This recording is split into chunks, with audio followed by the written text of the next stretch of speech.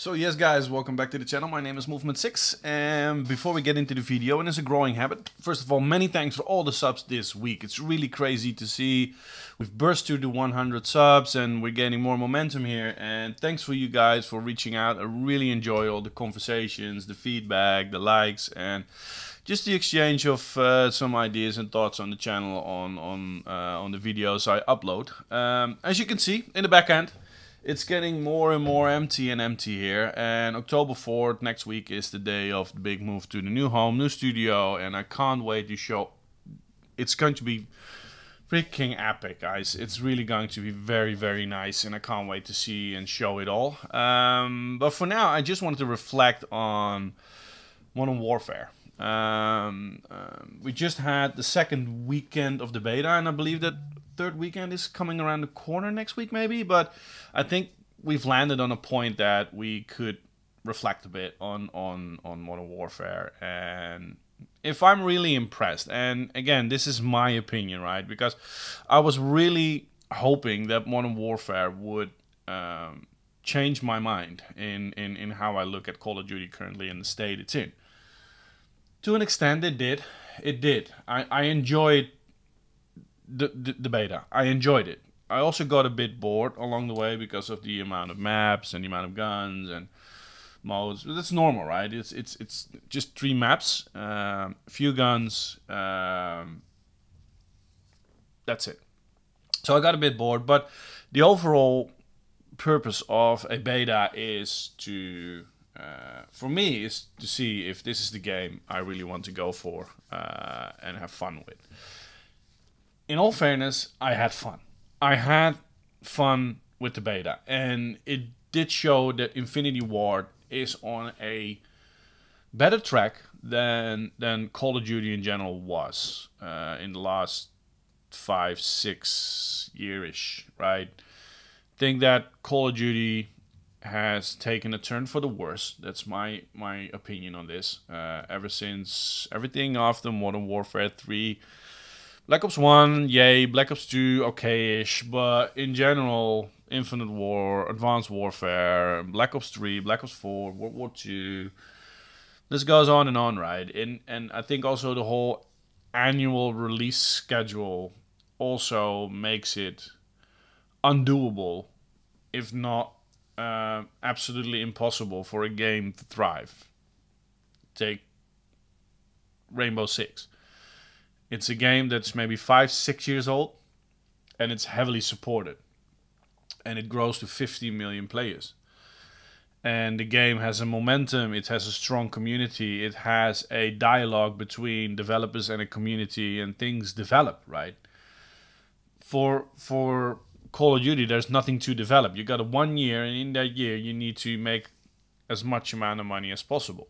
Um, but on the other side, I do still hope that COD finds his momentum back and gets a game that's right. In my previous video, I said that one of the biggest issues in, in, in really get some momentum again and, and, and positive vibe in general around this game is to stop releasing annually. Support Modern Warfare for the three years to come with, with maps, with content, with updates, I don't care, you know, make it a total different game in, in, in the period of three three years and make sure that you have a solid base of people keep on coming back. Um, that's not going to happen, I think. Uh, but I did hope that Modern Warfare was bringing some nostalgia back. But let's get into a few nitty gritty details, right? So these are things I like, I don't like, needs to change, or or whatever. So first of all, the engine. I think that it's really good that they've changed the engine. Right? They've they've got a new engine. It it looks good. It's not the best looking game. We've reached a time with this console generation that you should be able to make a game look even better than this one, right? There are better looking games out there. Um, but in all fairness, we finally departed from the old engine. And to me, Black Ops 4 and Black Ops 3 and all the other games built on the old engine. It's nothing more than a PlayStation 3 quality on steroids. That that's it, full stop. And we finally have a game now that it, it, it gives some room for maneuver in terms of graphics and, and what they want to do with the game. So and that shows, you know. So it, that's good. It's good. The color scheme is good. I do think that the dark layer that is a bit over this game is not really it it helps camping a lot because you only see the name of the enemy popping up when you're ADSing. So um, there is for me that's a big issue. Um, okay, that's just something you have to deal with. It's a developer's choice to do it, but overall the engine looks good. It it it looks good. I think also the whole atmosphere of the game in terms of the modern day modern warfare days, right? It's it's boots on the ground. It the sound is great. The sound is really good. Uh, the reloads, the, the, the shooting mechanics, it, it really good. It's 60 frames per, per second across the board, so that's also good. It's nothing but good moves there. Um, in terms of modes, I think the 2v2 is, is a gimmick. It's nice. It's it's a it's a gunfight on steroids. It's nice. It's maybe good to do among friends, but it's not a long lasting mode for me. Um, but it's nice. It's a nice addition. I think the realistic mode is fun. You know, in the dark, uh, it's fun. Uh, it also gets, in that sense, a bit bored because I, after a few matches, I started to realize that I do miss the color scheme. Right, it's it's all everything is green because you got your night vision on. But it's a fun modus, right? It's fun. It it changes the pace and it's a nice change of pace in that sense to to do it. The multiplayer, um, there are some huge issues in there. First of all, the claymores. It's appalling. They're way overpowered. You can't see them. Um, it, they need to change that, which they will because it's not the first time somebody's mentioning claymores, right? So the maps, the maps are pretty good. Uh, we've seen three new maps, and the biggest criticism in the past has always been uh, the uh, uh the maps and the DLC, especially for Black Ops 4. Um, th- these are good maps. These are really good. I think also the, the cave map is so-so, but the other two maps, I, I really enjoyed the layout, the way it works, and you not really have that three-lane sense of feeling. So that was good for me. Um, I think they finally sat around the table and thought of a few good maps. So it, it does make you looking forward to the other new maps that are going to be in there. So these three maps, one is Moi cave map, the other two pretty good. Um, I do think that the Modern Warfare uh, environment or saga or universe or however you want to call it also gives a lot of old maps we are looking for or looking forward to, right? Um, Terminals, one of them. There are so many maps in the Modern Warfare environment that we want to see remake and brought back. But that's one of the biggest criticisms I could have is that Black Ops 4 relied solely on those maps. The only good maps in Black Ops 4 were the old maps. Now, we've seen two new good new maps, fine. But I don't want this game to lean on the old maps. That needs to be a plus, an icing on the cake, right? Um, the cake needs to be good. The icing that that's the, the old maps that are reworked. So I really hope they get that in order. Um, what is a bit of a weird modus for me is ground war. I've seen a lot of people saying that it's nice addition, it's fun, and yeah, it was fun. It did have a lot of glitches. It had a popping up texture that didn't load until seconds into a game. Fine, I got some examples. This is not a gameplay video. This is more a reflecting video, right? So um, to me, it shows an identity crisis because come on this was battlefield. As soon as i i started playing and made my first steps into this environment people taking off in helicopters and sitting in in in, in, in vehicles or tanks i am i playing call of duty or am i playing battlefield? You know and i think the biggest problem of call of duty is that they don't know who they are and they don't know how to express what they want to be. And keep it simple. You know, do do the simple things good, then eventually the difficult things will come. And to me, as much as I could enjoy the 32 v 32 ground war, it's Battlefield without the destruction. They've got an engine that's upgraded. They want to do something that is a copy paste from from Battlefield, but they can't work around the destruction for some weird reason. So, to me, is there a reason to buy a product from company A that does it better than company B? Uh, I would stay stick to company A because to me, Battlefield is doing large scale warfare simulators better than Call of Duty does now. So there's no reason to go for a Call of Battlefield game, right? That that's what it is. Full stop. So that's not the main driver. So we only have the single player campaign left, and which nobody really knows what it is. I am looking forward to it for some weird reason because I'm I'm well weird reason I'm a sucker for single players. I, I just like it. You know, yeah, to, to dig in six and a half, seven hours of single player shooters, some good story mode, maybe a wink to the past, you know, so which is fine. Um, but the overall multiplayer, I would give it a seven out of ten right now. There's a lot to work on, but it could easily drop to a six or a five out of ten. And the reason is is that I'm still not going to pre-order it, and that's the bad taste in my mouth over the last years we know loot boxes are coming back. This game is going to be highly monetized. Full stop. Don't think it's not.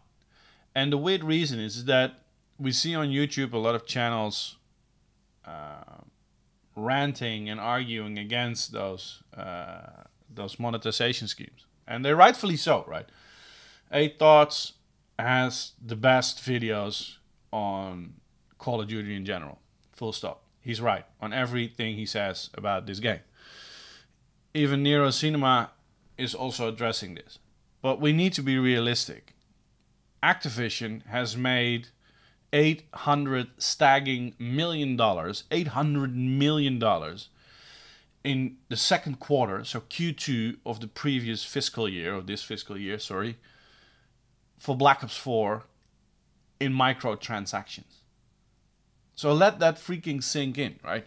Activision has made 800 million dollars in three months. In just three months. We, we're not talking about the other quarters. Just in Q2 alone, they made 800 million dollars, so almost a billion dollars, um, in uh, in microtransactions for Black Ops 4, and that worries me because we can rant as much as we want about loot boxes, pay to win, paywalls, guns behind pay schemes they are going to do it because there is no company, and especially not Activision, that will say to Infinity Ward, you know what?